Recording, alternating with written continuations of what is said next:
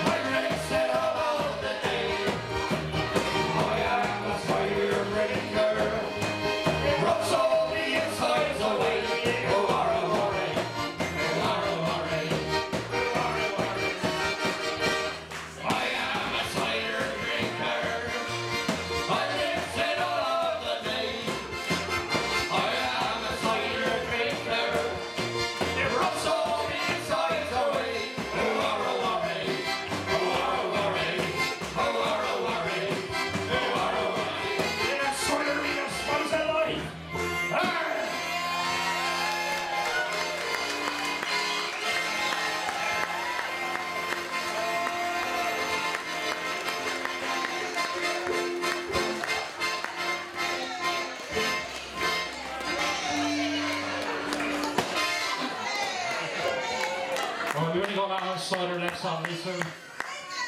Par le